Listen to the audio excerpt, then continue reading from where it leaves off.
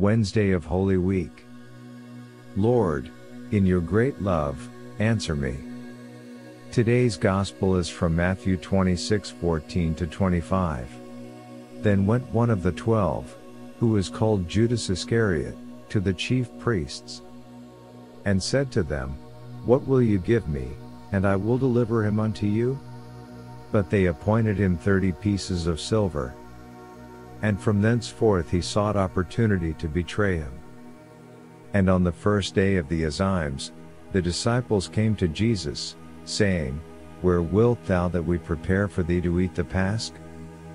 But Jesus said, Go ye into the city to a certain man, and say to him, The Master saith, My time is near at hand, with thee I make the Pasch with my disciples.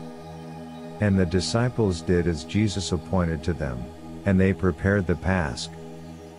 But when it was evening, he sat down with his twelve disciples. And whilst they were eating, he said, Amen I say to you, that one of you is about to betray me. And they being very much troubled, began every one to say, Is it I, Lord? But he answering, said, He that dippeth his hand with me in the dish, he shall betray me.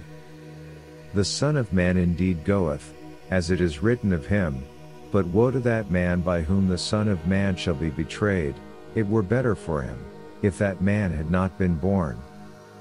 And Judas that betrayed him, answering, said, Is it I, Rabbi? He saith to him, Thou hast said it. This is the gospel of the Lord. Matthew 26:14 to 25 recounts the events leading to Judas Iscariot's betrayal of Jesus.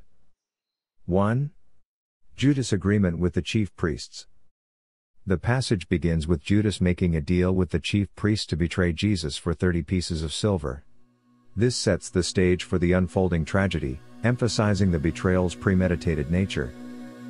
2. The value of Jesus in the betrayal.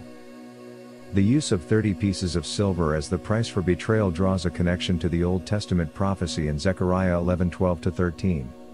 This reinforces the significance of Jesus as the ultimate sacrificial lamb.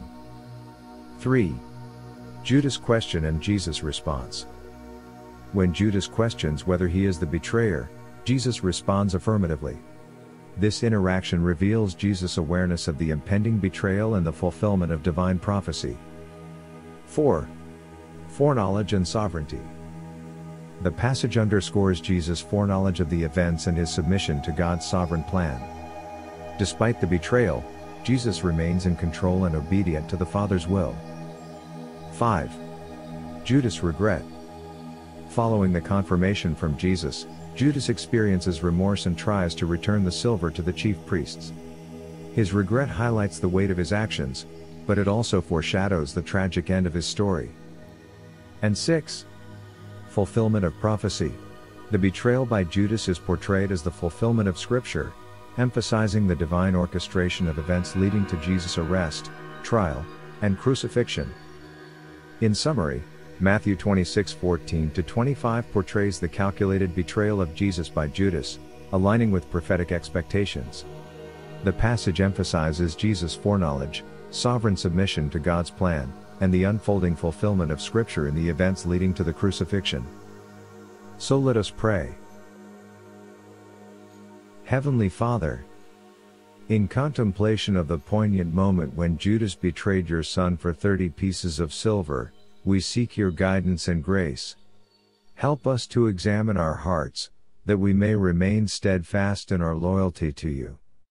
May we learn from the consequences of betrayal and choose the path of faithfulness.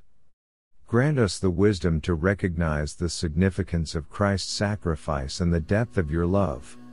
In our journey, Lord, let our actions reflect the enduring devotion that stems from a heart transformed by your grace. In Jesus' name, we pray. Amen.